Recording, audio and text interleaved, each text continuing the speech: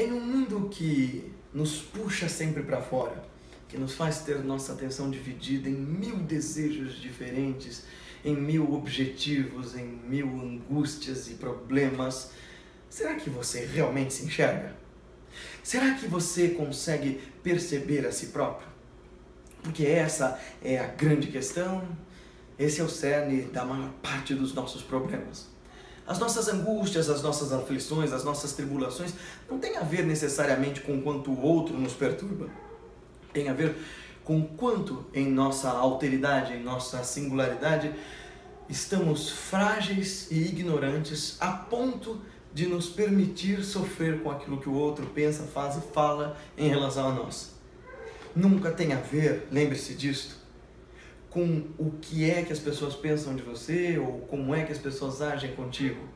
Não tem a ver com quanto você ganha, onde você vive, em quais circunstâncias você vive, mas como é que você se conhece, se controla e se conduz em meio às tribulações que você vive. O grande problema de hoje em dia é que, egoístas como estamos, não percebemos o outro, não ouvimos o outro, não pensamos o outro, tampouco ouvimos, pensamos e olhamos para nós mesmos.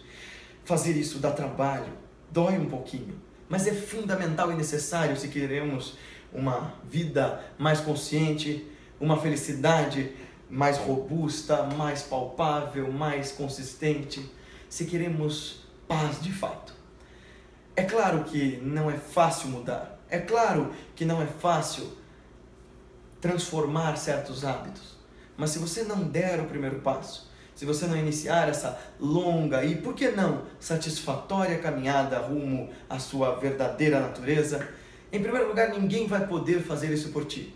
E em segundo lugar, você vai passar o resto da sua vida dando voltas e mais voltas atrás desses múltiplos, milhões de objetivos que no fim das contas não nos completam e não preenchem as faltas que nós temos dentro de nós. Então, todos os dias, lembre-se daquele velho ditado e vá fundo nele em suas múltiplas concepções filosóficas, que é: você se enxerga?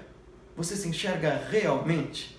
Tente se lembrar daqueles momentinhos em que, quando a gente se sente ultrajado, alguém te diz: se enxerga. Então, desperte e se enxergue. Namastê.